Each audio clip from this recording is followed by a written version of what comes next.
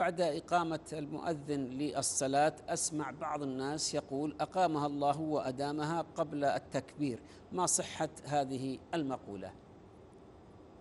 هذه اللفظة وردت عند الإمام أبي داود أنها تقال عند قول المقيم قد قامت الصلاة ولكن الحديث الوارد في ذلك ضعيف الإسناد لم يثبت عن رسول الله صلى الله عليه وسلم.